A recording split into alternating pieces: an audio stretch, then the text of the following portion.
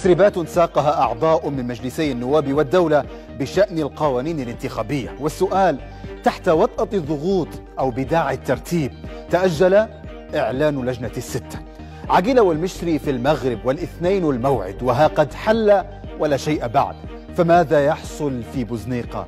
نناقش هذا الموضوع في حوارية الليلة بعد ساعة إخبارية مفصلة تتابعون عناوينها مع الزميل نبيل تخيل. شكرا محمد. تتابعون معنا في الليلة.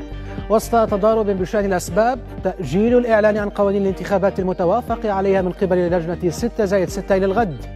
مع استمرار الدعوات الدولية إلى ضرورة إجراء الانتخابات بتل يشدد على أن تكون حرة وشاملة. تأجيل محاكمة عبد الله السنوسي لعدم استجلابه ومحاميه يقول إن إحضاره مسؤولية النيابة العامة والجهات التنفيذية. تشاركني في تقديم نشرة الليلة الزميلة مروى العز شكرا لك نبيل وفي نقطة نقاش الليلة تتابعون. طلب ملتقى البلديات المتضررة من الأعمال الإجرامية بتكثيف الجهود لملاحقة المطلوبين الصادرة بشأنهم أوامر ضبط قضائية داخل البلاد وخارجها للحد من الإفلات من العقاب. ودعا الملتقى الذي احتضنته ترهون إلى تفعيل الاتفاقيات الثنائية حاثا الجهات المسؤولة على الإسراع في تعويض أسر الضحايا وجبر ضررهم المادي والمعنوي وتقديم الدعم للهيئة العامة للبحث عن المفقودين ولجنة المقابر الجماعية. ما هي أهداف هذا الملتقى وكيف سيسهم في تحقيق المطالب؟ تتابعون معنا في جولتنا الاقتصادية والرياضية. مع الزميلين حمزة قديش ومازن شوبة تفضل في ملفنا الاقتصادي لهذه الليلة الرقابة الإدارية تشدد على إحالة عقود المشروعات الحكومية في مواعيدها وتتوعد باتخاذ الإجراءات القانونية ضد الجهات الممتنعة. ولدينا في الجولة الرياضية. اتحاد الكرة يؤجل الإعلان عن موعد وبرنامج الدوري السداسي إلى الأربعاء القادم بعد عدم توافق رؤساء الأندية في اجتماع اليوم الاثنين. كانت هذه إذا أبرز عناوين الليلة أما أنا فألقاكم بعد ساعة من الآن تفضلوا بالبقاء معنا.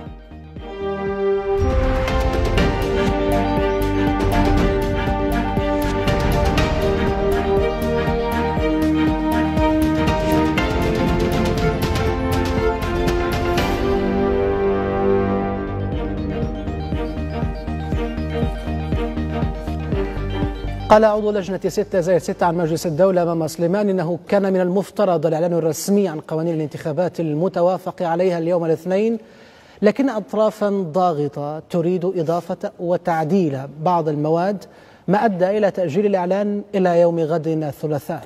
وأضاف سليمان للأحرار أن غالبية أعضاء اللجنة المشتركة رافضين لأي تعديلات بعدما تم توقيع والتصويت بالإجماع على قانون الانتخابات يوم السبت الماضي.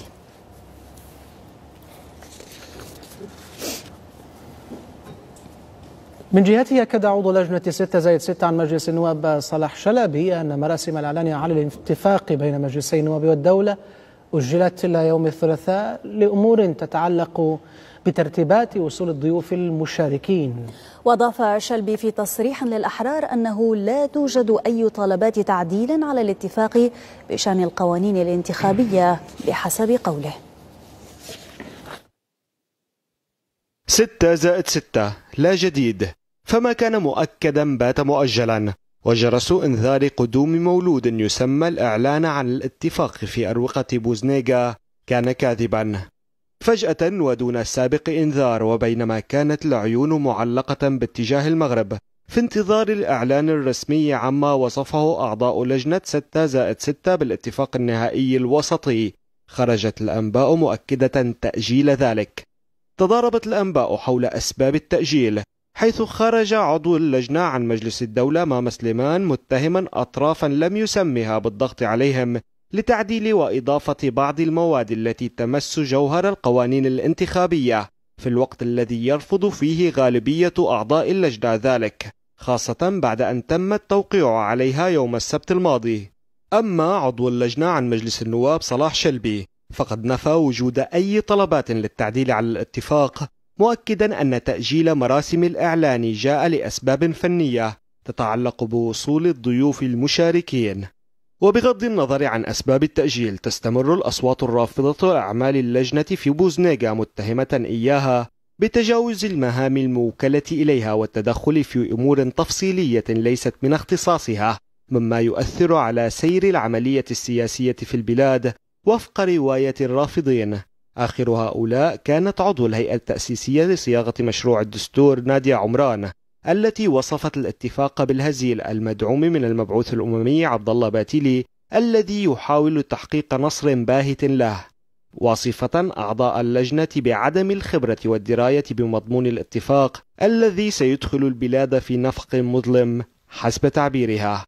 وما بين تضارب الأنباء حول أسباب التأجيل قد تكون الأصوات الرافضة للاتفاق عقبة في الطريق فهل سيتمكن أعضاء اللجنة وداعموهم محليا ودوليا من تمرير ما اتفقوا عليه ووصفوه بالحلول الوسطية أم سيكون مصير هذا الاتفاق كسابقية في إطالة أمد الأزمة السياسية؟ في سياق متصل وصف عضو الهيئة التأسيسية لصياغة الدستور سالم كشلاف ما يجري في بوزنيقة المغربية بأنه لا يعدو كونه صفقة سياسية بين عقيل صالح وخالد المشري هدفها الأساسي إنتاج حكومة جديدة يتقاسم عقيل والمشري المناصب فيها. وأضاف كشلاف في تصريحات خاصة للأحرار أن القوانين التي تكتب في بوزنيقة عالجت بشكل معيب مسألة ترشح العسكريين ومزدوجي الجنسية ومصيرها الفشل. كما قال كشلاف إن المشري وأعضاء لجنته ذهبوا إلى المغرب للتنازل وليس للتفاوض حسب تعبيره. إلا ذلك قال مستشار رئيس المجلس الرئاسي لشؤون الانتخابات زياد غيم أن مجلس النواب يتوجب عليه إصدار القوانين الانتخابية دون أي تغيير وفق الاتفاق السياسي والتعديل الدستوري الثالث عشر. وأوضح دغيم في مداخلة مع الأحرار أن لجنة ستة زايد ستة منتخبة من مجلسي النواب والأعلى للدولة وأن مخرجاتها ملزمة لهما بموجب آلية العمل التي حددها الاتفاق السياسي مؤكدا دعمه لما توصلت إليه بفتح المجال أمام الجميع للترشح للانتخابات. من جهته وصف عضو مجلس النواب صالح فحيم إمكانية سماح لجنة ستة زائد ستة لمزدوجي الجنسية والعسكريين بالترشح للانتخابات الرئاسية. وصفه بالمنطقي والجيد لسماحه للجميع بخوض الانتخابات وفق تعبيره. وأكد فحيمة في مداخلة مع الأحرار أن اعتراضات بعض النواب تقتصر على مدى صلاحية اللجنة في تعديل عدد مقاعد السلطة التشريعية وتوزيعها فيما سماها بأقاليم ليبيا. معتبرا أن الظرف أو الظروف التي تمر بها البلاد تفرض عدم إمكانية الوصول إلى توافقات بنسبة 100% وفق قوله.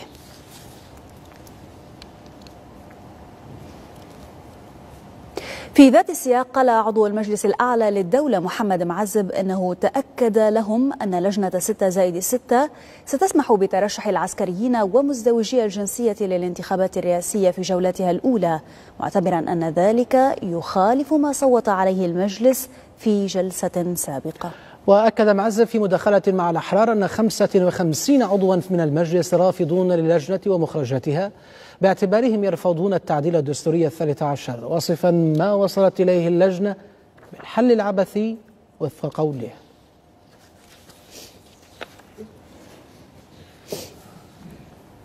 إذا معنا عبر الأقمار الاصطناعية من طرابلس المحامي والمحلل السياسي عبد الوهاب بسيكري. أهلا وسهلا بك سيد عبد الوهاب. إذا كان يفترض وفق مواعيد سابقة أن يعلن عن مخرجات الستة زاد ستة اليوم الاثنين ثم أجلت إلى الغد. هناك من أرجع هذا التأجيل إلى الترتيبات وثمة من يرجعها للضغوط. برأيك أنت سيد بسيكري ما دلالة هذا التضارب في التصريحات؟ تحية لكما وللسادة والمشاهدي قناة الأحرار. كالعادة نصل إلى شيء ويوصلنا إلى لا شيء. أكيد أن الاصطفاف الحاد في الداخل تضارب وتشابك والمصالح الإقليمية والدولية التي طول الأزمة مكنها من أن تكون لها يد عليا وطولة في إنتاج حلول في ليبيا. غياب المجتمع السياسي الحقيقي بقواعده الشعبية أصبح متروك الأمر بهذا الشكل للتدخلات. واضح أن اللجنة قامت بعمل آه، مفخخ وملغم في كل مخرج من مخرجاته. بحيث أعطت آه، لكل آه، من يريد الرفض أن يرفض تدليل على ذلك. أنها دخلت إلى منطقة غير ملزمة بها بعيدا عن اعترافنا بالتعديل 13 من عدمه وهي مسألة الدوائر الانتخابية وعدد النواب وهذا يفتح الباب لأنصار الفيدرالية أو أنصار تسوية المقاعد والأقاليم الثلاثة. أيضا فتحت الباب للأوروبيين من أنشأ محكمة التجارية الدولية الشريك للمفوضية العليا للانتخابات في أنه كما حدث في قانون رقم واحد لسنة 2021 بشأن انتخابات رئاسية لن تقبل بأن يكون سيف الإسلام مطلوب المحكمة التجارية الدولية على قائمة. أيضا آه، مسألة التضارب ما بين القوى المسيطرة في الشرق والحكومة المنتجة من تونس جنيف في مسألة آه، الانتخابات بحيث أن آه، عهدنا في السابق بأنهم يحاولون إقصاء منصب رئيس الوزارة من أن يكون أحد الشخوص المترشح انتخابات وأعلنوها بوضوح بأنه خالف تعهداته. أعتقد أن أولاد حفتر في المنطقة يفضلون التفاهم مع حكومة الوحدة الوطنية الموجودة في الشرق على أن يتنافسوا معها في الانتخابات. كل هذه المفخخات وكل هذه الألغام دعك من من يرفض سيف الإسلام محليا ومن سيؤيده من الداخل دعك من من من هم ضد الكرامة من أصل ونحن ندعي بأننا نمثل هذا الطيف لإجرامها ولأفعالها. كل هذه الأمور وضعت وحشرت في مواد آه، جعلت من هذا القانون مفخخ وجعلت من المجتمع الإقليمي المتدخل في ليبيا وبعض الدول الأوروبية آه، أن تتدخل بشكل أو آخر في الضغط لتعديل آه، هذا الأمر إذا كل ما هنالك في ليبيا يؤكد ويشير بأن الانتخابات في هذه الفترة القادمة وخصوصا ما دام التمسك بالانتخابات طيب. الرئاسية طيب. قائم لا انتخابات وفي المقابل يرى ربما عضو الهيئة التأسيسية لصياغة الدستور سالم كشلاف بأن هذه الخطوة جاءت ربما بهدف أساسي هو إنتاج حكومة جديدة يتقاسم عقيلة والمشري المناصب فيها إلى أي مدى تبدو لك هذه الفرضية أو هذه القراءة لما يجري حقيقية؟ هو إشكالية إنتاج مرحلة انتقالية جديدة بحكومة جديدة يبدو بأنها أصبحت صعبة تكرارها للمرة الثالثة بعد حكومة الوفاق الوطني التي أنتجت في الصخيرات حكومة المجلس الرئاسي وكذلك بعد حكومة الوحدة الوطنية التي أنتجت في تونس جنيف.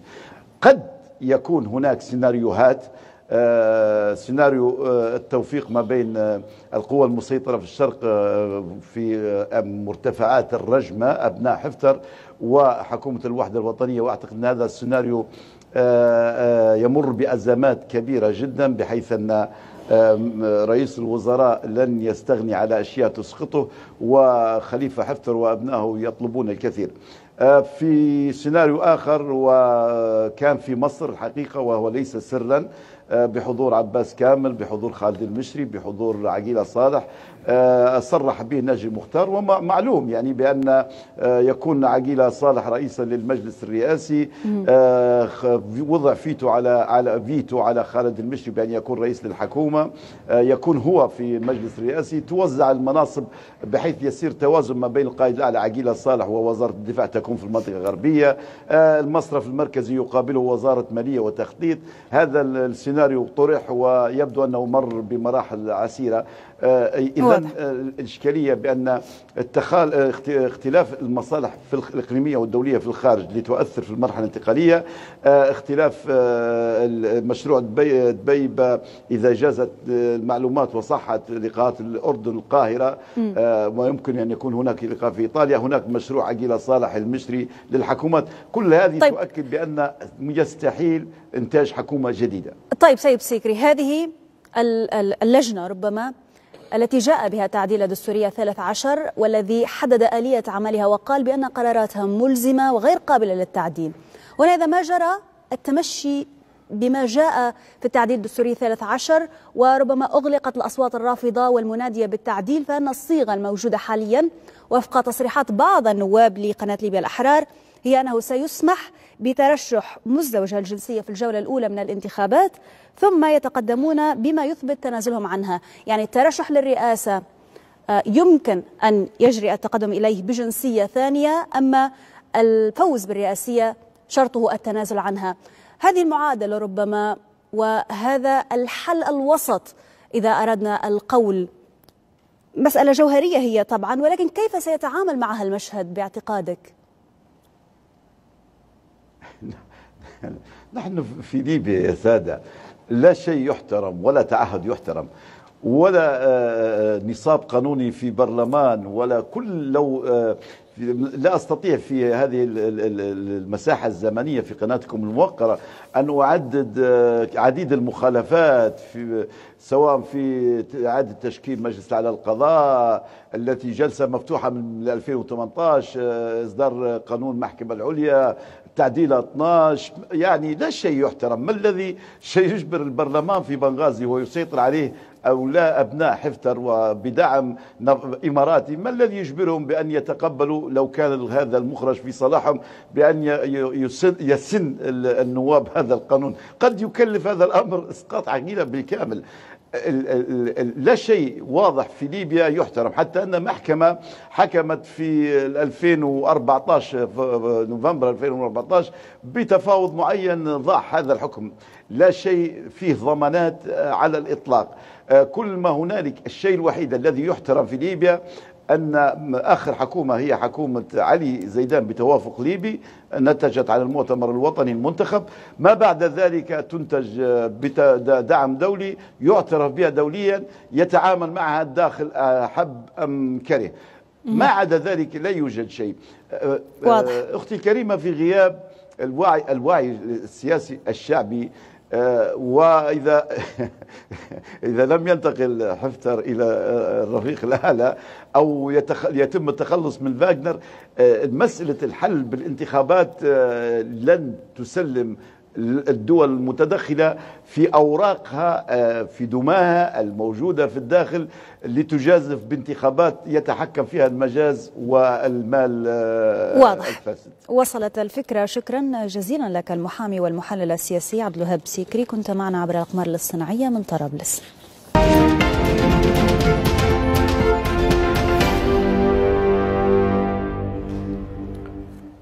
شدد المبعوث الأممي إلى ليبيا عبد الله بتيلي على الحاجة الملحة لإجراء انتخابات حرة وشاملة وذات مصداقية. مؤكدا في الوقت ذاته على مركزية حقوق الإنسان في عمل الأمم المتحدة مع الشركاء الليبيين. وأشار باتيلي في تغريدة له تعقيبا على لقائه بعدد من أعضاء لجنة متابعة أوضاع السجناء السياسيين إلى جهود الرئاسي والاتحاد الإفريقي والبعث وشركاء آخرين بشأن المصالحة الوطنية. ضيفا أنه تعرف خلال اللقاء على آراء أعضاء اللجنة حول المصالحة والعدالة الانتقالية واستمع لأسباب قلقهم بشأن حالة المعتقلين وفق قوله. حذر المبعوث الأمريكي لليبيا سفير ريتشارد نورلاند من مقا أو في مقابلة مع وكالة بلومبرغ مع استغلال الانقسامات الداخلية وإحباط الجهود الأممية لإجراء الانتخابات. وقالت الوكالة أن الرئيس الروسي استقر على سياسة دعم الوضع الراهن الذي يحتمل أن يجعل صادرات النفط الليبية رهينة لروسيا. هذا وشدد الرئيس المصري عبد الفتاح السيسي ونظيره الموريتاني محمد ولد الغزواني في مؤتمر صحفي مشترك بالقاهرة على ضرورة إجراء الانتخابات الرئاسية والبرلمانية بشكل متزامن. لا شرعية بدون انتخابات. يمضي السفير والمبعوث الأمريكي إلى ليبيا ريتشارد نورلاند في تصريحات لوكالة بلومبيرغ محذرا من استغلال الانقسامات الداخلية وإحباط جهود الأمم المتحدة نحو إجراء الانتخابات.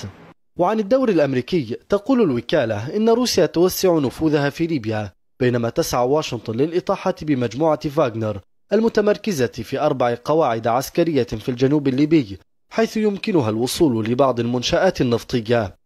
تؤكد فرنسا هي الأخرى على أهمية الانتخابات.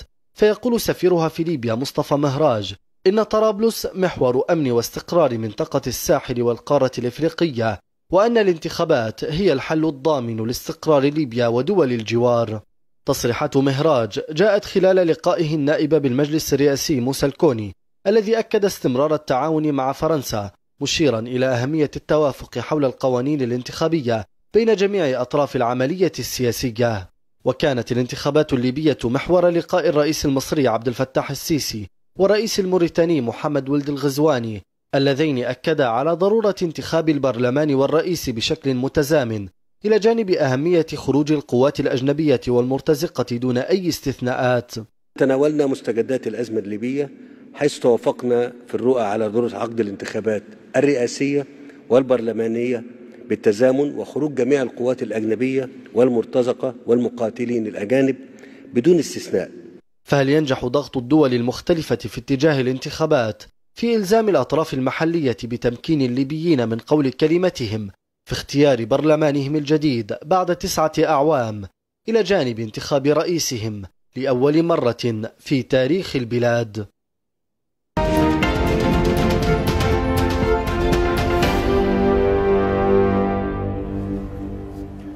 أجلت محكمة السنة في طرابلس محاكمة عبد الله السنوسي أحد رموز نظام القذافي إلى السابع عشر من يوليو القادم. وكانت جلسة المحاكمة قد أجلت في الخامس عشر من مايو الماضي بعد تأجيلها في الثامن من الشهر نفسه بسبب عدم حضور المتهم. ويواجه السنوسي تهما تتعلق بالتورط بمذبحة بوسليم وقمع ثورة السابع عشر من فبراير.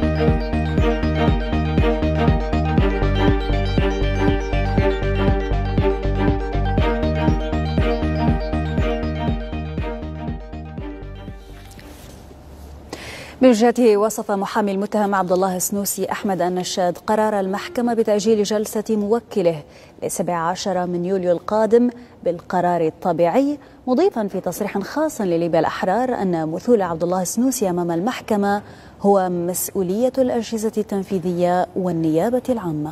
منوها بأن زوجة عبد الله السنوسي وبناته وعدد من أفراد عائلته قاموا بزيارته الأسبوع الماضي لتبادل التعازي في نجل السنوسي الذي توفي الأيام الماضية. هذا وأفاد مراسل ليبيا الأحرار بأن تأجيل محاكمة سنوسي نتيجة لعدم استجلاب المتهم إلى المحكمة مشيرا إلى أن جلسة الاثنين شهدت حضور عدد من أهالي ضحايا مجزرة أبو سليم الذين عبروا عن رفضهم.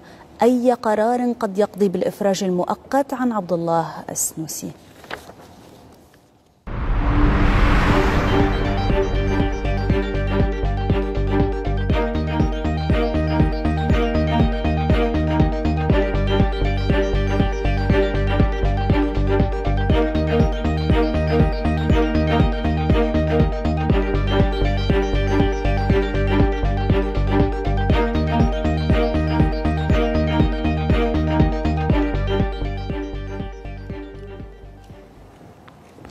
معنا عبر الأقمار الصناعية من مصرات الخبير القانوني والحقوقي السيد وسام الصغير. أهلا بك معنا سيد وسام. إذا هو تأجيل جديد لمحاكمة السنوسي نتيجة لما يقول عنه محاميه لعدم جلب المتهم للمحكمة. من الناحية القانونية ما الذي يعني ذلك؟ نعم تحية طيبة لك أخي نبيل و أهلا وسهلا. كل مشاهدي قناة ليبيا الأحرار. طبعا بكل تأكيد كما ذكرت اليوم سيناريو جديد في قضية 37 عنصر من العناصر التابعة لنظام معمر القذافي النظام الذي سقط بثورة السابع عشر من فبراير. طبعا هذه المحاكمة الماراثونية التي تشهد فصولا جديدة بعد عودتها من المحكمة العليا بعد أن نقض الحكم السابق. الذي صدر في سنة 2015 الآن نرى جلسات إعادة المحاكمة من جديد أمام دائرة الجنايات بمحكمة السنة طرابلس تحديدا الدائرة 13 بانعقاد خاص خارج مقر المحكمة وتحديدا في أمعيتيغا طبعا وفقا للنظام القانوني الإجرائي المتبع في قانون الإجراءات الجنائية الليبي أن المتهمون في أو أن المتهمين في في قضايا الجنايات كتلك التهم الموجهة لعبد الله السنوسي وباقي المتهمين في هذه القضية لابد من مثولهم أمام المحكمة ولابد من إحضارهم ومرافقة محاميه وتقديم الدفاع في حضور محاميه وفي حال عدم جلبه تؤجل المحكمة لجلبه لأن وجوده داخل السجن أو داخل المؤسسة العقابية يقتضي نقله لمقر المحكمة وتمكينه من حضور جلساته بشكل حضوري لأن غيابه في مثل هذه الأحوال لا يرجع لأسباب ذاتية أو إرادية وإنما يرجع لأسباب لوجستية وأسباب النقل لمقر المحكمة وبالتالي يوجب القانون في مثل هذه الظروف على الجهات والسلطات المعنية بذلك وعلى رأسها النيابة العامة بكل تأكيد لأن هي المعني بتنفيذ قرارات المحاكم على ضرورة جلب المتهم ومثوله وتحقيق مبدأ المواجهة بين الخصوم النيابة العامة ومواجهته بالتهم وإفساح المجال له للرد على ما يوجه له من تهم من خلاله هو كأصيل عن نفسه ومن خلال محاميه كنائبا عنه أو وكيلا عنه يعني. وبالتالي, نعم وبالتالي ستؤجل ستؤجل المحاكمة ما لم يتم جلبه لأن كما ذكرت عدم حضوره لا يعود لأسباب إرادية خاصة. وبالتالي في هذه الحالة أنه حتى عملية إصدار الحكم لأنه, لأنه محكمة استئناف طرابلس تقول أنها تؤجل مرة أخرى النطق في الحكم على سنوسي. ما لم تتم نعم. ما لم تتم عملية المرافعة من قبل محاميه. فعملية النطق بالحكم لن تكون في الوقت القريب؟ نعم أخي نبيل طبعا جلسة النطق بالحكم هي مبكر الحديث عنها الآن قبل إتاحة الفرصة كما ذكرت لتقديم الدفاع لأن هناك إجراءات تلزم محاكم بالإضافة إلى المثول والحضور هو أن يمكن المتهم من تقديم دفاعه وأن يكون هناك دفاعا جادا. وأن يحضر إلى جانبه محامي حضور المحامي مسألة وجوبية أيضا في مواد الجنايات لأن محاكمة الجنايات نحن نتحدث على قضايا وعلى تهم وعلى عقوبات هي في غاية الخطورة والجسامة. وبالتالي لابد من وجود شخص إلى جانب المتهم لديه خبرة قانونية جيدة ولديه إلمام قانوني يمكنه ويساعده ويمثل أو يشكل مساعد قانوني بالنسبة له في تقديم دفاعه. وبالتالي لن تحجز القضية للحكم ولن يكون هناك نطق للحكم ما لم تتحقق هذه الإجراءات. جلب المتهم أولا ومثوله أمام المحاكمة وإفساح المجال له بشكل جاد وبشكل كافي وبشكل مرضي بالنسبة له ولمحاميه لتقديم دفاعه وتحقيق الأدلة. إذا ما رأوا مثلا أن هناك بعض الأدلة التي يمكن مناقشتها كشهادة شهود أو مناقشة بعض الخبراء أمام المحكمة فلا بد من إعادة وفي هذه الحالة نحن أمام ماراثون من الجلسات إذا سيد أسامة الصغير. نعم خاصة خاصة إيه؟ وأن نحن نحن مقبلين على ما يعرف بالعطلة القضائية وهي وإن كانت من المفترض أن قضايا التي بها أشخاص هم رهن الحبس الاحتياطي لا تتأثر بأعمال العطلة القضائية ولكن عادة ما تكون هناك دوائر مشكلة بشكل استثنائي أو بشكل غير مستقر ولربما يكون هناك أعضاء من الاحتياط خاصة وكما علمنا بأن أحد أعضاء هذه الدائرة هو مقبل على أداء مناسك الحج وبالتالي هذا من شأنه أحيانا أن يجعل حتى من جلسة 17 يوليو أو 17 7 هي من الآن يعني قد يكون هناك هناك مخاوف ذكرت يعني. لربما حتى لعدم اكتمال الهيئة يعني. هناك مخاوف يعبر عنها في الحقيقة عدد من أهالي ضحايا بوسليم هناك مخاوف مرتبطة برفضهم لما يقولون عنه أن هناك احتمالية لأن يكون هناك قرار بالإفراج المؤقت عن عبد الله السنوسي وجاهت مثل هكذا مخاوف. وهل هناك احتمالية بأنه في الوضع القانوني الحالي للسنوسي أن يحظى بإفراج مؤقت؟ نعم أخي نبيل بداية لابد أن أبين للسادة المشاهدين أن هناك لبس حصل أن ما جرى المحاكمة بشأنه اليوم لا علاقة له بقضية سجن بوسليم وإن كان هناك حضور مكثف لضحايا وأهالي تلك المزرعه الشنيعة التي تسجل كاكثر نقطة سوداء ومظلمة في تاريخ ليبيا الحديث. أتكلم كملف حقوقي يعني هنا. تلك القضية قضية سجن بوسليم سبق وأن تم الفصل فيها. من محكمة جنايات طرابلس في حكم سابق بسقوط تلك الجريمة بالتقادم. طعن في حكم قضية سجن بوسليم أمام المحكمة العليا. ألغت المحكمة العليا حكم التقادم وأعيد نظر القضية من جديد أمام محكمة جنايات طرابلس وحكمت فيها بعدم الاختصاص للقضاء المدني وجعلت آه، من الاختصاص اختصاصا للقضاء العسكري. والآن هي منظورة أمام المحكمة العليا للمرة الثانية. هذا فيما يتعلق بقضية سجن بوسليم.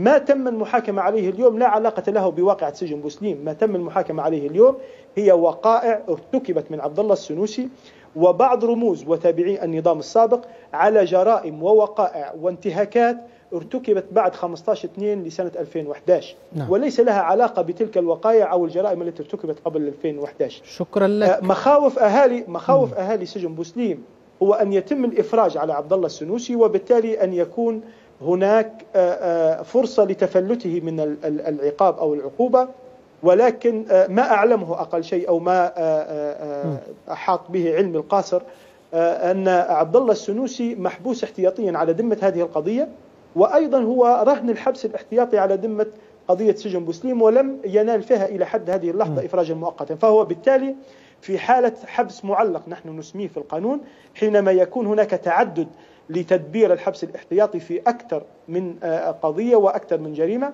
يسمى آه، آه، هذه الحالة حالة الحبس المعلق أو الحبس على الحبس. وبالتالي الإفراج عنه في هذه القضية حتى وإن كان متأتيا من الناحية النظرية ومن الناحية القانونية ومن الناحية الواقعية لربما يكون له إرهاصات سياسية لربما يكون هناك ضغط يمارس على هيئة المحكمة وبالتالي قد ترضخ لهكذا متطلبات. نعم. وأحيانا يكون فعلا الهيئة كما نظن بها خيرا بإذن الله أنها تمتاز بشيء من الحيادية ومن النزاهة ومن نعم. الموضوعية وتستطيع أن تتخذ قرارها بعيدا عن كل تلك المعطيات وكل تلك الضغوط ولكن جزيلا في في في سوء في سوء الظروف أو سوء الأحوال لو تم الإفراج عنه في هذه القضية سيظل محبوسا احتياطيا على ذمة القضية القانوني والحقوقي سيد وسام صغير كنت معنا عبر الأقمار الاصطناعيه من مصر. نشكرك على كل هذه القراءات. شكرا جزيلا لك. شكرا. شكرا. وافق أمس الأحد الرابع من يونيو الذكرى الثالثة لتحرير كامل حدود طرابلس الكبرى من عدوان حفتر على العاصمة. وأعلن الناطق باسم الجيش الليبي محمد جنون تمكن قوات بركان الغضب من بسط سيطرتها الكاملة على مناطق جنوب طرابلس التي كانت نقاط تمركز لقوات حفتر. الجيش الوطني جنوب طرابلس ولم يكتمل اليوم حتى أعلن تحريرها وفي أقل من يومين سقطت ترهون مؤذنة باندحار عدوان حفتر على العاصمة. التحرير مر بمراحل عدة كادت تلفظ فيها طرابلس أنفاسها عندما سقطت غريان يوم الرابع من أبريل وحوصرت طرابلس بقوات حفتر. توحدت القوى العسكرية بالمنطقة الغربية والوسطى وأعلن السراج حينها النفير. وبعد يومين انطلقت عملية بركان الغضب للتصدي للعدوان. من ستة محاور تقدمت قوات العدوان جنوب طرابلس مستعينة بالطيران المسير وتواصل الكر والفر. وفي يونيو ساعدت قوات بركان الغضب مدينة غريان غرفة عمليات حفتر. خاطب سراج دول العالم لوقف العدوان وأخذت قوات حفتر تطوق العاصمة دون أي استجابة دولية. وفي نوفمبر وقعت الحكومة اتفاقية عسكرية وبحرية مع تركيا. وفي مطلع يناير 2020 استولت قوات حفتر على سرت ثم بعد أسبوع أعلن هو أي حفتر وحكومة الوفاق وقف إطلاق النار استجابة لمبادرة روسية تركية. وفي الثالث عشر من يناير جمعت موسكو الطرفين فوقع السراج وتملص آمر العدوان. وتكرر الأمر ببرلين بحضور اثنتي عشرة دولة وقعت على وثيقة و جملة بنود. لم يكترث حفتر بكورونا ولم يبالي بالدعوة الدولية وخرق الهدنة مرارا وتكرارا. وفي مارس 2020 أطلقت حكومة الوفاق عملية تحت اسم عاصفة السلام.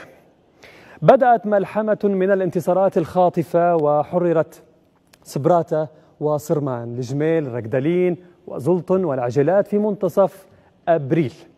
لم ينتصف مايو حتى سقطت قلعة استراتيجية هي قاعدة الوطية بأكملها وأخذت تنهار ميليشيات حفتر. في يونيو حررت طرابلس وضواحيها تلتها ترهونة وأعلن دحر العدوان. أما الآن مشاهدينا فإلى جولتنا الاقتصادية. مع الزميل حمزة قديش. تفضل حمزة.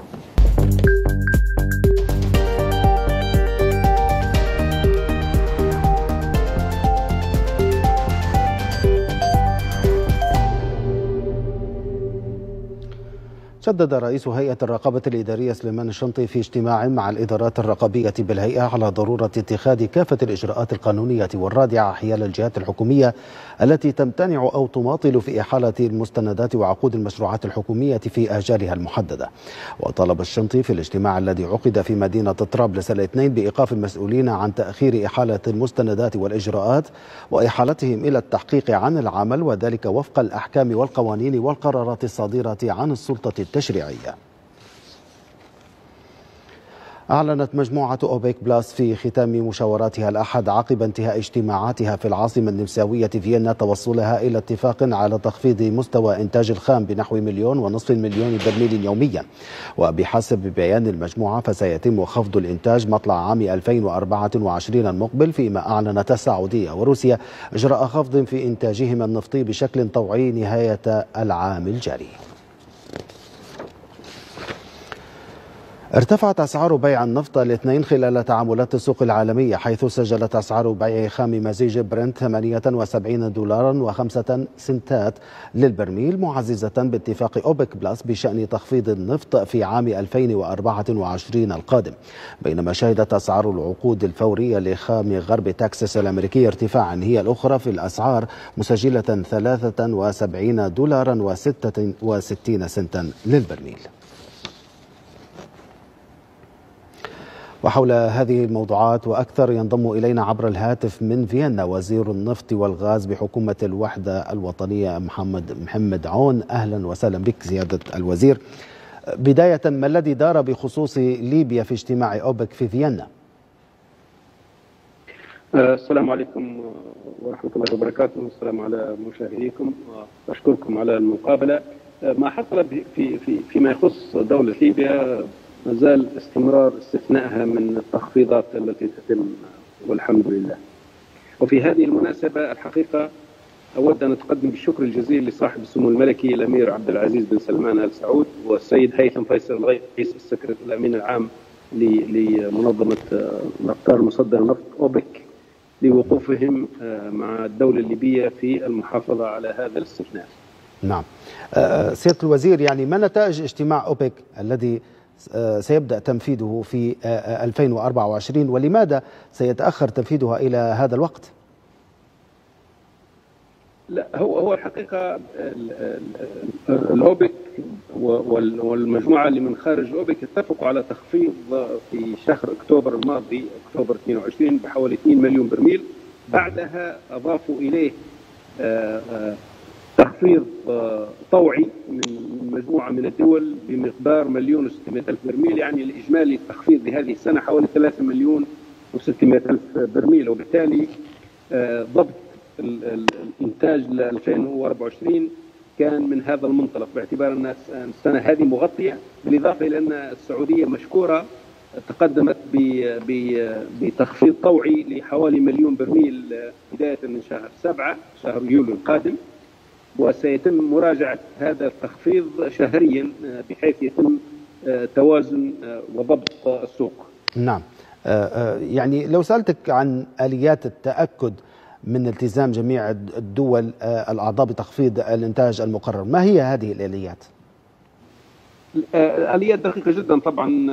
تم تم تم تشكيل لجنة من من مجموعة من الوزراء من المنظمة ومن خارج المنظمة لمتابعة هذا الموضوع بالإضافة إلى لجنة فنية تقوم بمتابعة هذه الإجراءات وتتم عقد اجتماعات دورية لهذه لهذه اللجنة الوزارية العليا. ومسموح لها أن تجتمع حتى اجتماعات طارئة هي هي في, في الاجتماعات الروتينية تجتمع كل شهرين لمتابعة هذا الموضوع والحقيقة نعم. كل التقارير الفنية التي وردت إلى المنظمة أوبك ومنظمة أوبك بلس الفترات السابقة كلها تؤكد أنه تم الالتزام شبه الكامل بالمحافظة على التخفيضات التي تمت والتي تم الاتفاق عليها. نعم معالي الوزير يعني باختصار شديد يعني ما وضع الدول الأفريقية والتي من بينها ليبيا في عملية الإنتاج بالمجمل خلال الاتفاق؟ آه، ليبيا والحمد لله زي ما ذكرت آه، تقديرا لظروفها ونشكر مرة أخرى آه، زي ما ذكرت في بداية حديثي السيد الأمير سمو الأمير الأمير عبد العزيز والسيد هيثم الرئيس على وقوفهم مع ليبيا باعتبار تقدير للظروف التي تمر بها. ما زالت مستثناء الدول الإفريقية طبعا تنتج في حوالي خمس إنتاج منظمة أوبك اللي هو حوالي 25 مليون برميل. تنتج فيه منظمة أوبك. الدول الإفريقية مجتمعة تنتج حوالي خمس خمس هذه الكمية وبالتالي لها تأثير كبير. والحقيقة الدول الإفريقية كلها مساهمه مساهمة فعاله الجزائر عضو في لجنة متابعة التخفيضات وبقية الدول الأفريقية الأخرى كلها مساهمة حقيقة حتى نعم. اللي إنتاجهم مش كبير زي السودان وجنوب السودان مساهمين في هذا في هذا الاتفاق. نعم اذا كنت معنا وزير النفط والغاز محمد محمد عون كنت معنا عبر الهاتف من فيينا شكرا جزيلا لك. ناقش رئيس ديوان المحاسبة خالد شكشك مع وزيرة الخارجية والتعاون الدولي بحكومة الوحدة الوطنية نجلاء المنقوش الاثنين بطرابلس خطة ترشيد الإنفاق وتنظيم عدد السفارات الليبية بالخارج. الاجتماع ناقش أيضا تنظيم إجراءات ترشيح الموظفين الدبلوماسيين للعمل في الخارج بالإضافة إلى إنجاز الملاك للسفارات والبعثات الليبية بالخارج وإيجاد خطة لسداد الديون المترتبة على علاج المرضى الليبيين في المؤسسات الصحية الخارجية. سجلت أسعار صرف الدولار واليورو والجنيه الاسترليني ارتفاعا في تعاملات السوق الرسمي بحسب بيانات مصر في ليبيا المركزية الاثنين. وشهدت تعاملات السوق الموازي هي الأخرى ارتفاعا في أسعار صرف بقية العملات الأجنبية مقابل الدينار الليبي. انتظمت في مدينة بنغازي أعمال الملتقى الليبي التونسي في مجال البناء والتشييد والمقاولات العامة والاستثمارية بمشاركة عدد من رجال الأعمال والمهتمين من الجانبين. التفاصيل في التقرير التالي. بحضور موسع من الشخصيات الاعتبارية ورجال الأعمال الليبيين والتونسيين المتخصصين في مجال البناء والتشييد والمقاولات العامة والاستثمار العقاري. عقد بمدينة بني غازي الاثنين الملتقى الليبي التونسي برعاية وتنظيم غرفة التجارة والصناعة والزراعة بني غازي وبالتعاون مع المجلس الأعلى لرجال الأعمال الليبيين التونسيين. ملتقى رجال الأعمال الليبيين التونسيين بحضور 30 شركة تونسية متخصصة في مجال إعادة الأعمار. وحضور الكبرى الشركات الليبية من أجل تبادل آه، تعاون مشترك ما بين الشركات الليبية التونسية في مجال آه، دفع بنا إلى توفير آه، تطوير العلاقات التجارية بين الشركات الليبية والتونسية من أجل تلبية احتياجات سوق العمل من عمالة ومن مواد ومن متطلبات تقنية تساهم في تلبية احتياجات ومتطلبات الأعمار.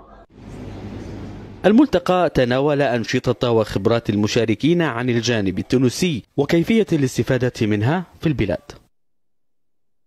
إن شاء الله تكون معناها آه، نقطة أولى لشراكة بين رجال الأعمال التوانسة والليبيين وبين في إعادة أعمار بنغازي ودرنا واستعرض الملتقى أيضا فتح آفاق وسبل التعاون وتعزيز فرص العمل المشترك بمختلف المجالات الاقتصادية والتجارية والاستثمارية ما بين البلدين. ختام جولتنا الاقتصادية لهذه الليلة. العودة الآن إلى الزميلين مروى ونبيل شكرا حمزة. شكرا لكم. شكرا لك حمزة. بحث النائب العام صديق السور مع قادة النيابات الواقعة ضمن نطاق اختصاص محكمتي الاستئناف في طرابلس رقمنة منظومة البيانات وأرشفة الوثائق المتعلقة بها. كما جرى خلال اللقاء بحسب المكتب الإعلامي للنائب العام مناقشة الخطط الموضوعة لتتبع حسن تنفيذ المهمات المسندة إلى المستويات التنفيذية جميعها بمراعاة الجدولة الزمنية المقررة.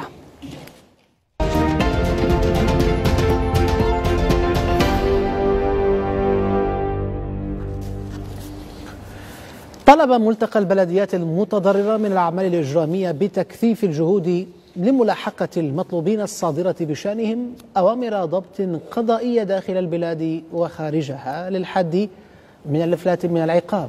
ودعا البيان الختامي الملتقى الذي عقد في مدينة ترهون الاثنين دعا إلى تفعيل الاتفاقيات الثنائية وتكليف وزارة العدل بالتعاون مع النائب العام لمتابعة البطاقات الحمراء الدولية وتعميمها على الملحقيات الأمنية بالخارج كما حث البيان الجهات المسؤولة إلى الإسراع في تعويض أسر الضحايا وجبر ضررهم المادي والمعنوي وتقديم الدعم للهيئة العامة للبحث عن المفقودين ولجنة المقابر الجماعية.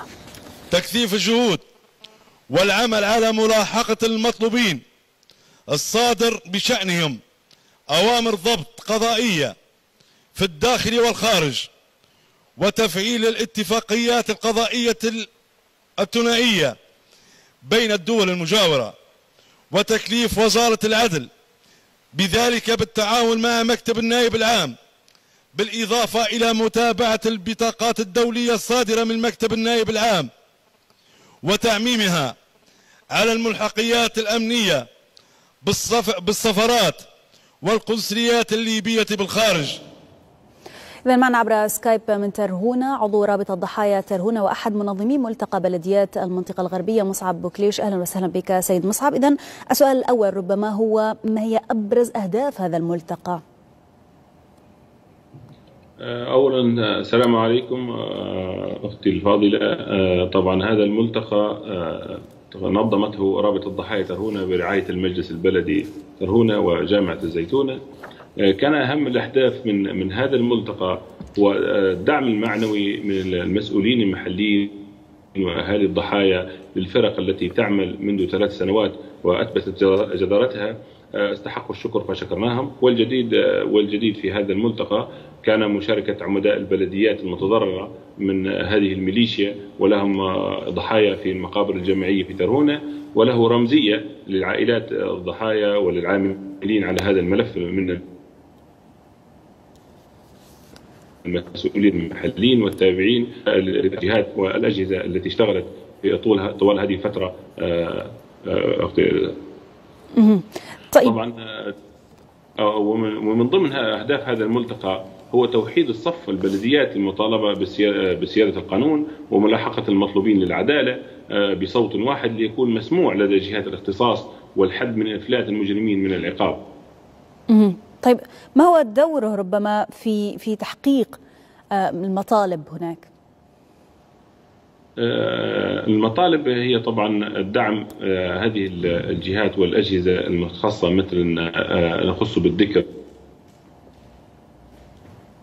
المفقودين لجنه المقابر الجماعية من وزارة العدل جهاز المباحث الجنائية أيضا مركز الطب الطوارئ والدعم طبعا هذه الأجهزة اشتغلت وطوال هذه الفترة واصلت الليل بالنهار. طبعا بعض المقابر منها كان في المقابر المقابر كانت في مكبات القمامة ومنها كان في أرض صخرية ومنها كانت أرض وعره فهؤلاء الفرق اشتغلت طوال هذه الفترة لتسليم المفقودين والتعرف على هوياتهم وتسليمهم لذويهم. وأيضا محكمة محكمة ترهون الجزئية قامت أيضا بإتمام الإجراءات الإدارية والقانونية لمن شهادات الدفن وأيضا شهادات شهادات الوفاة وتصريح الدفن. عفوا. واضح. شكرا جزيلا لك. سيد مصعب بوكليش عضو رابطة ضحايا ترهونة وأحد منظمي ملتقى بلديات المنطقة الغربية. كنت معنا من ترهونة عبر سكايب. الآن إلى الجولة الرياضية. نعم نبيل مع الزميل مازن رجوبة. شكرا لكم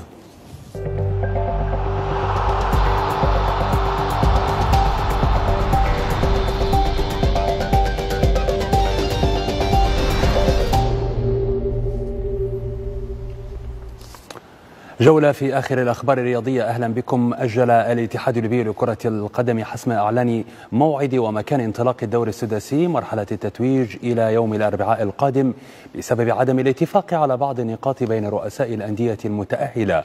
المزيد في تقرير حسن خليل. حقيقة هناك صعوبات كثيرة إلى الآن ما وصلناش لحل سواء في إقامة الدوري السداسي داخل ليبيا أو خارج ليبيا. تأجل الحسم ولم تتفق الأصوات. حول مكان تنظيم نهائيات سداسي كرة القدم بعد أن اجتمع رئيس الاتحاد مع رؤساء الأندية التي وصلت إلى هذا الدور. البعض طالب بالمغرب ومصر والخيار الأخير تونس. اجتمعوا أن يكون دولة المغرب هي الدولة الأولى وإذا لم يكن في المغرب ممكن يكون في مصر وإذا لم يكن في مصر ممكن يكون في في تونس. هذا بعد حلحلة كل المشاكل المادية المتعلقة بالتنظيم. رئيس الاتحاد الليبي كرة قدم سوف براسل الدول واللي يعطي الموافقة إحنا مرحبتين بهم خارج ليبيا من مرحلة واحدة كي نتمكن من المشاركة في البطولة العربية. المشاكل المادية هي العائق الأساسي أمام الأندية والاتحاد. في حال توفر الدعم من الحكومة ووزارة الرياضة. فسيتم الإعلان عن مكان السداسي وتحديد موعد الاجتماع سيكون بعد 48 ساعة. مشكلة الدعم المالي وما يتطلب التنظيم واللعب خارج ليبيا من مصروفات كبيرة وخاصة إذا كان هناك حكام دوليين أو من خارج ليبيا. لا بأس من التطعيم ببعض الحكام الليبيين المميزين وأيضا حكام الأجانب حسب حسب المباريات واختيار الأندية. وتعرفوا أنتم كرة القدم قداش مصاريفها. بعد عندك بعض الأندية عندها مشاركات واستحقاقات وفي نفس الوقت. الوقت اللي فيه الدوري سواء في ليبيا بنديروه ما, ما يسعش الوقت إن إحنا باش نكملوه. الجماهير الرياضية تنتظر ما سيحدث في الأيام القادمة. لتتجه صوب أنديتها من أجل الاستعدادات والدعم المعنوي قبل خوض غمار سداسي كرة القدم. حسن خليل ليبيا الأحرار طرابلس. وللتعرف على تفاصيل هذا الاجتماع ينضم إلينا عبر الأقمار الاصطناعية من طرابلس مراسل ليبيا الأحرار حسن خليل الذي كان حاضرا لهذا الاجتماع. بداية مساء الخير حسن. أنت كنت حاضرا للاجتماع.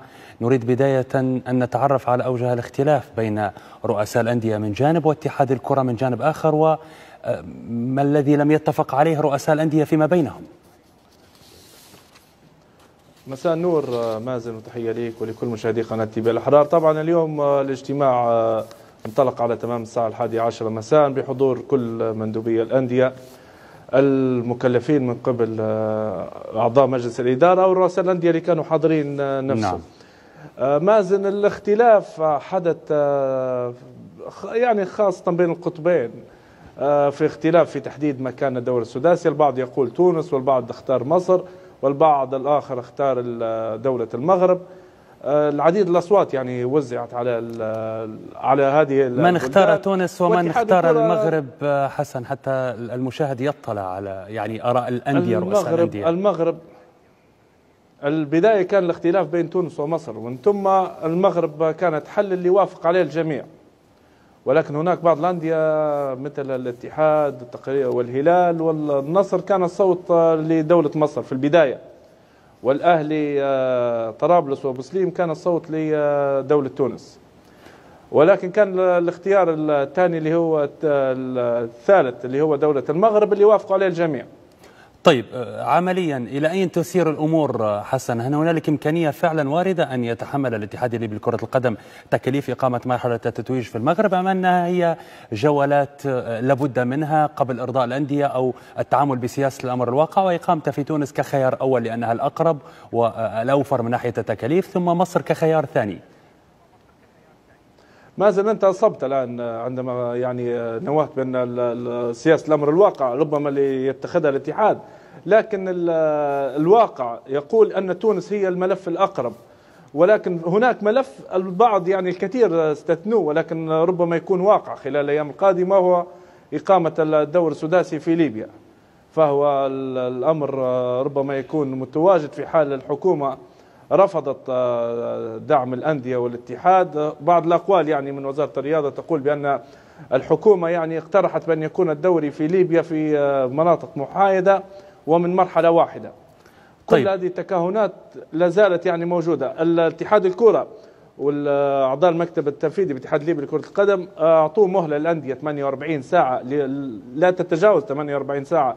ربما غدا يأتي الخبر الذي ينتظره الكثير من الجماهير. يعني اليوم أو غدا صباحا ستتواصل مع الحكومة ومع وزارة الرياضة. لاختيار الملف. ربما الأقرب الأقرب الأقرب آه تونس. في السؤال الأخير آه، حسن أنت أشرت إلى آه، الدعم المالي. اتحاد الكرة سينقل الدوري خارج ليبيا إقامة مرحلة التتويج في حالة وفرت الحكومة الدعم الذي يعني بموجبة يستطيع اتحاد الكرة تنظيمه في الخارج. هل حتى الأندية تطالب بدعم منفصل عن الاتحاد الليبي لكرة القدم؟ يعني الأندية تريد كما حدث الموسم الماضي عندما استلمت أعتقد ثلاثة ملايين دينار ليبي. نعم مازن الأندية هي من تطالب بتوفير نعم. الدعم آه، أكثر من الاتحاد ربما يعني الأصوات الأولى التي تعالت هي أصوات الأندية من أجل الدعم آه، رؤساء الأندية حتى من خلال التقرير التي عرضناه يعني قبل قليل كل رؤساء الأندية تحدثوا عن الجانب المادي كلهم يتحدثون من أجل الحصول على الدعم وليس لديهم دعم ربما أن الحكومة يعني غير آه، يعني مخولة بتمويل الأندية ولكن هذا وقعنا للأسف. أصبحنا في هذه المرحلة الحكومة هو الدعم الرئيسي لكل الأندية. نعم حسن يبدو أنه فعلا موسم التتويج والحصاد ووصلنا إلى نقطة نهاية الموسم. شكرا لك حسن خليل على كل هذه التفاصيل. إلى خبر آخر مشاهدينا فاز الأهلي طرابلس على المدينة بستة أهداف لثلاثة في آخر مباريات الجولة السابعة عشرة لفرق المجموعة الثانية من الدوري الممتاز. المدينة سجل أولا عبر البرازيلي موتا في الدقيقة الثامنة. ثم عدل الأهلي النتيجة عبر مهاجمه إيبوكا في الدقيقة الخامسة عشرة قبل أن يتبعه محمد المنير بتصويبة محرزا الهدف الثاني في الدقيقة السابعة والعشرين ويعود اللاعب ذاته ليضيف ثالث أهداف فريقه في الدقيقة الأربعين. وقبل نهاية الشوط عاد موتا ليقلص الفارق للمدينة مسجلا الهدف الثاني. وفي مطلع الحصة الثانية وسع أحمد القديري الفارق للأهلي بالهدف الرابع. قبل أن يقلص مؤيد الجريتليا الفارق للمدينة مرة أخرى بتصويبة من خارج المنطقة. لكن مؤيد جدور أعاد الفارق بتسجيله خامس أهداف الأهلي في الدقيقة الحادية والستين ثم أتبعه إيبوكا بالهدف السادس قبل حوالي عشرين دقيقة على نهاية المواجهة. يواصل فريق السواحل تدريباته اليومية بملعب النادي تحضيرا للمواجهة الأخيرة في الدوري الممتاز والتي تجمعه بأبو سليم في ملعب مصراتة الفريق يتدرب بإشراف المدرب الوطني عبد القادر الشبلي الذي استلم مهامه خلفا للمدرب التونسي قيس اليعقوبي شهر مايو الماضي. الفريق لم يتمكن من التأهل لسداسية تتويج عن المجموعة الثانية لتتأجل أحلام مشجعيه للموسم القادم بحثا عن الوصول إلى المرحلة النهائية والمنافسة على اللقب. أما أبو سليم المتأهل إلى مرحلة السداسي فتعتبر هذه المباراة بمثابة التحضير لمرحلة حصاد الموسم. والله مسير السوحلي طبعا لازم يعالج السلبيات. يعني من بداية الموسم طبعا الناس اللي اشتغلت كمدربين أو كين لكن الهدف يوضع الهدف اللي يبوه النادي هو الأول وعلى ضوء الهدف ينطلقوا. يعني ويكون في إدارة فنية لاستجلاب اللاعبين. اللاعب إذا كان ما تعرفاش تجرب أسبوعين توافق اللجنة الفنية وافق مدرب الفريق قد يكون مدرب طاقم جاي من برا غدا بعد تقول روح متحمله مسؤولية اللجنة الفنية اللي اختارت اللاعبين.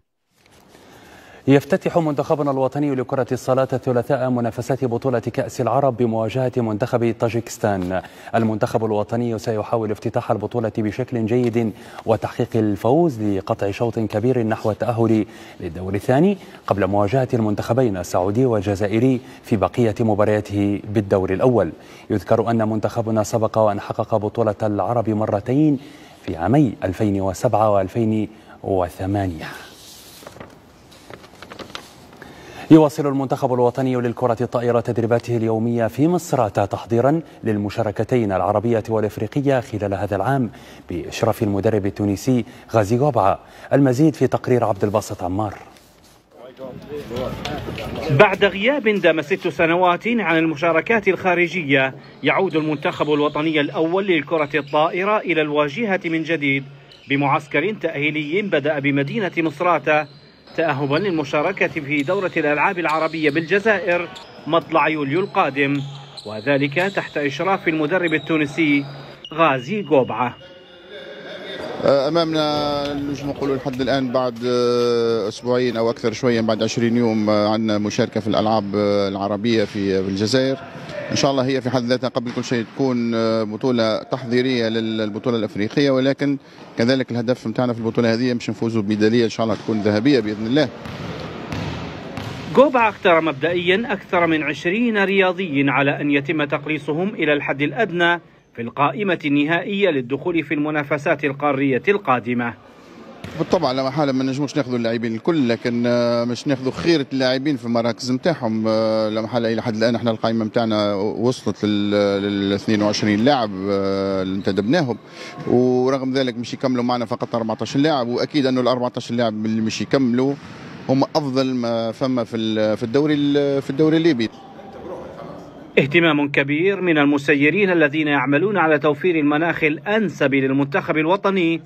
الذي سيشارك في ثلاث بطولات وهي دورة الألعاب العربية بالجزائر والبطولة العربية بالعراق والبطولة الإفريقية بمصر والمؤهلة إلى نهائيات كأس العالم.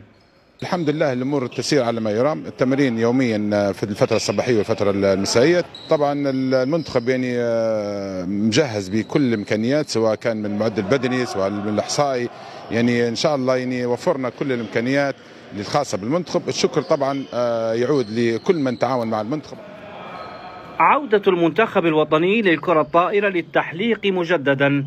يعد مكسبا للرياضة الليبية في انتظار أن يكون بوابة للبطولات الخارجية. عبد الباسط عمار لقناة ليبيا الأحرار مصراتة.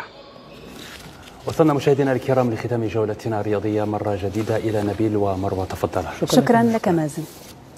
استنكر مجلس الحكماء والأعيان ومهجرو مدينة مرزق حادثة منع اللجنة المكلفة من إدارة السجل المدني من القيام بمهامها. معتبرين ذلك دليلا على اختراق وتزوير في منظومة السجل المدني للمدينة منذ قتل مدير السجل المدني.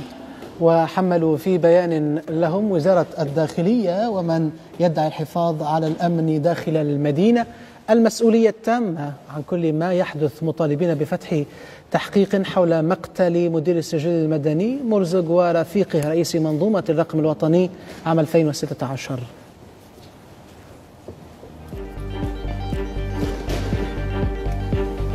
بهذا نصيحكم مشاهدينا إلى نهاية نشرتنا. نعم نبيل نترككم الآن مع حوارية الليلة والزميل محمد زينوبة. دمتم بخير.